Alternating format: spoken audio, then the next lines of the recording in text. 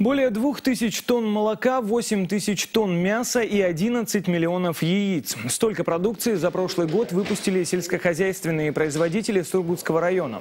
Значительнее всего выросли показатели по производству яиц, более чем на 40%. Объемы производства во многом сохраняются благодаря субсидиям из окружного и местного бюджетов. Суммарно в 2019 году на развитие фермерства было выделено почти 300 тысяч рублей. Деньги направили на развитие материально-технической базы. Поголовье скота увеличилось по сравнению с прошлым годом тоже на 19%. Небольшой рост, но есть. Поголовье птицы увеличилось на 18%. Но это тоже как бы обусловлено цикличностью выращивания птицы-бройлера, что, видимо, на конец года была максимальная загрузка предприятия.